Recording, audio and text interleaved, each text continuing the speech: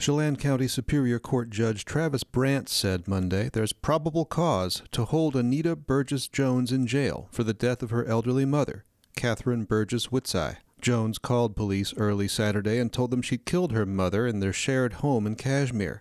Chelan County Sheriff's deputies say Jones, who's 70 years old, admitted attacking her mother at about 2 a.m. as she left the bathroom, bludgeoning her with a statuette, strangling her, and stabbing her three times with a steak knife. Asked why she'd killed her 96 year old mother, Jones allegedly said, I guess I must have hated her. Deputies said Jones also admitted to painkiller addiction and said she heard voices in her head.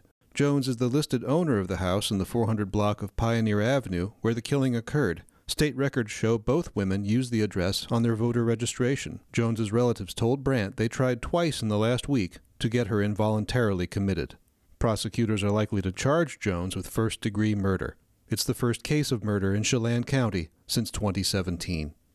Jefferson Robbins, NCW Life.